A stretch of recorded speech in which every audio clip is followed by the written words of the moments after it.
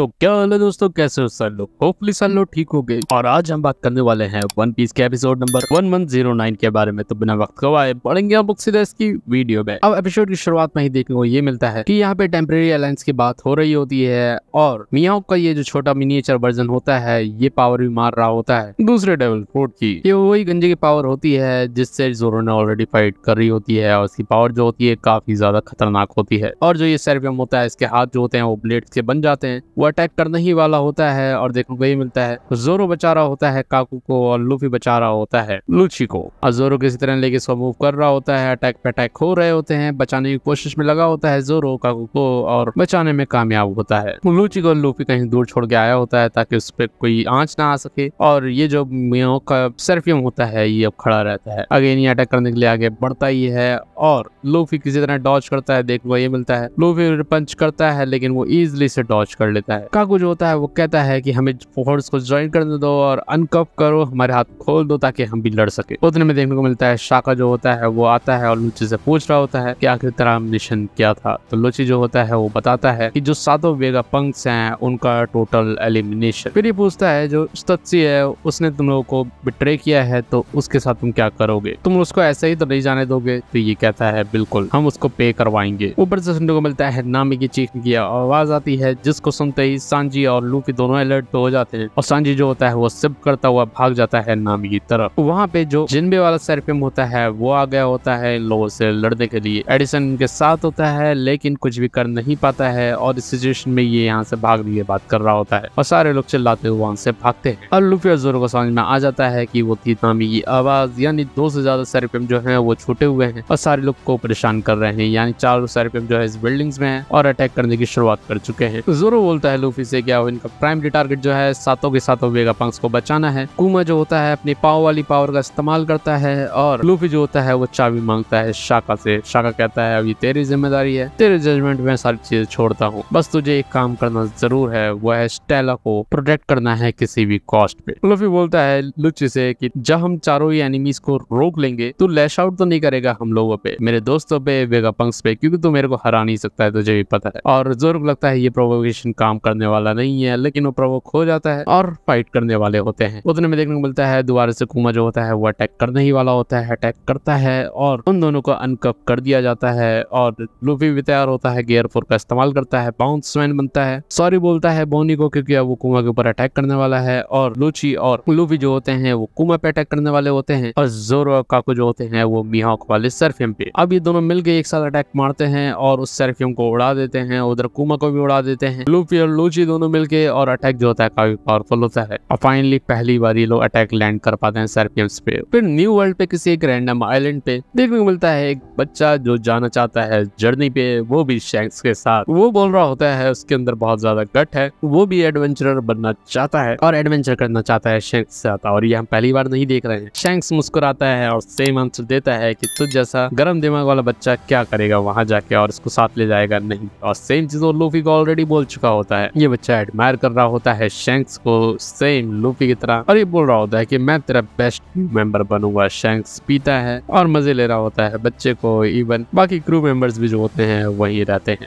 और वो बात कर रहे होते हैं, क्या पता है ये बच्चे जो हैं, वो कुछ क्रेजी स्टफ़ कर जाए। इसलिए उनके स्पिरिट का फन नहीं बनाना चाहिए। और ये बच्चे क्या पता सरप्राइज़ कर दे पूरे वर्ल्ड को। शैंक्स एकदम से याद आता है लूफी और फिर मुस्कुराता है और कहता है, तू हॉट हेडेड है। उतने में पता चलता है कि एक और आता है और कह रहा होता है कि उस बेवकूफ़ ने दोबारा से अटैक कर दिया है हमारे ऊपर, और वो कोई और नहीं किड होता है। और फाइनली वक्त आ चुका होता है कि ये फाइट बैक करने वाले होते हैं, और इस जगह को वैसे भी छोड़ने वाले होते हैं। और कह रहा होता है कि हमने कैरी अभी कर दिया है, बात कर करके अब वक्त आ चुका है कि उससे मिला जाए और चीज़ें सेटल की जाए। और उसके बाद ये लोग मूव करने वाले होते हैं, सब लोग खुश होते हैं कि फाइट करने वाले होते हैं, यहाँ से जाने वाले होते हैं, क्योंकि वो डिस्ट्रॉय नहीं करना चाहते हैं इस बार को, और इस अब एलबाफ की तरह ये लोग मुड़ने वाले होते हैं एलबाफ में देखने को मिलता है दोनों जॉइंट जो होते हैं, वो होते हैं। शेंग सुनते मिलता है, उनकी मदद के लिए बोलता है और डोरिया और ब्रॉकी जो होते हैं, वो साथ आने वाले होते हैं। ये लोग मूव करते हुए जा रहे होते हैं और शेंक्स की क्रू का इंट्रोडक्शन यहाँ देखने को मिलता है। सबसे पहले होता है बेन पैकैम उसके बाद होता है यसोप लकी रॉक्स होता है उसके बाद,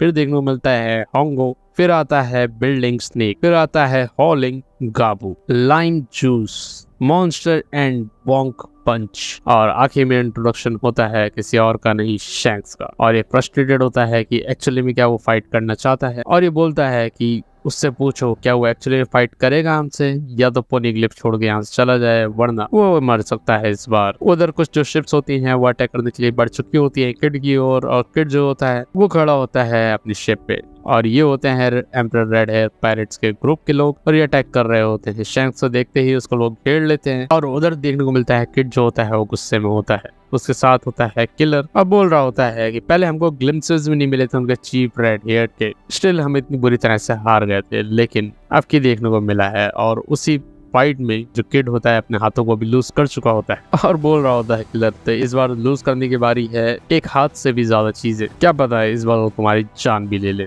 किड जो होता है, वो मुस्कुराता है और कह रहा होता है, ये तभी होगा जब हम लूज करेंगे, है ना? हम लूज नहीं करने वाले यहाँ पे। और उसी साथ खत्म हो जाता है वाला एपिसोड अगले एपिसोड में देखने को ये मिलेगा किस तरह से सीपी ज़ीरो और स्ट्रॉ जो होते हैं, वो अनेबल होते हैं कम्पीट करने के, क्योंकि जो सेरफेम की पावर होती है, वो ओवरवेलमिंग फोर्स होती है। उन लोगों का एंडलेस और रेस्टलेस अटैक्स जो होते हैं, वो ग्रेजुअली पुश करते हैं लूफी और उसके एलाइज ग्रुप को। अब इन लोगों को कैसे पाता ऑफ़ विक्ट्री मिलेगा, जब एक फ्लॉलेस एनिमी को ये टैकल कर रहे हैं। तो नेक्स्ट एपिसोड वन पीस में देखने को मिलेगा survive deadly combat with the strongest form of humanity तो इस वीडियो में इतने रखेंगे। वीडियो पसंद आई तो वीडियो को लाइक करना चैनल को हमारे सब्सक्राइब करना। मिलते हैं अगली वीडियो में, तब तक के लिए बाय बाय सायोनारा जय श्री राम।